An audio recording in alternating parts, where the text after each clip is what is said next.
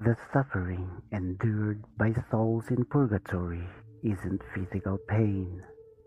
Through the centuries, artists striving to convey the sufferings of purgatory have depicted men and women tormented by a burning fire, but those illustrations aren't a literal representation of the goings on in the purgative state.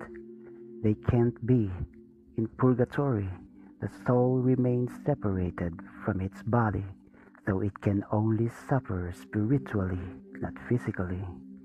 That's not to say, however, that the flames of purgatory aren't real.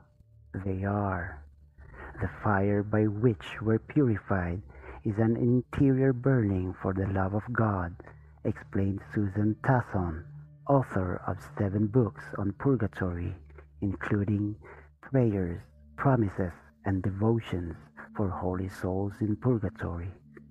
Immediately after their death, the souls in purgatory saw God in all His glory. They saw His love, His goodness, and the plans He had for us. And they yearn for that. They burn for it with a yearning that surpasses the heat of any earthly fire. In other words, the primary pain endured by those in purgatory is the loss of the sight of God. They suffer from what Tassone called a spiritual fever. As that fever rages, it separates the soul from sin, a process almost equally painful.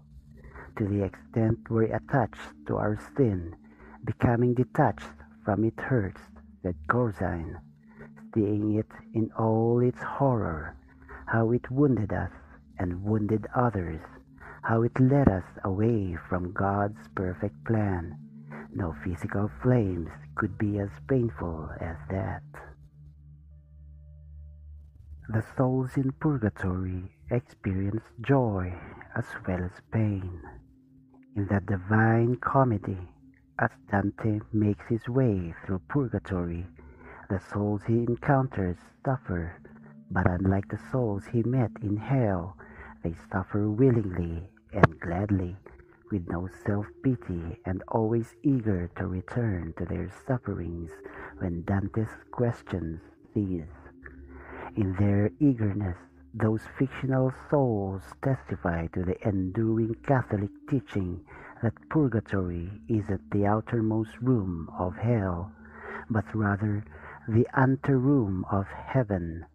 Every soul in purgatory is bound for glory. Their fate has been sealed, and ultimately it's a blessed fate. Therefore, the time they spend in purgatory whether short or long, is a time marked not only by suffering but also by joy. Anything worthwhile requires pain to make progress, but it's pain with a reward at the end, said Father Longenecker. Sometimes it helps to think of purgatory like the process of getting physically fit. There's pain, but it's a sign of progress it means you're on the road to where you eventually want to be. That makes it a joyful pain.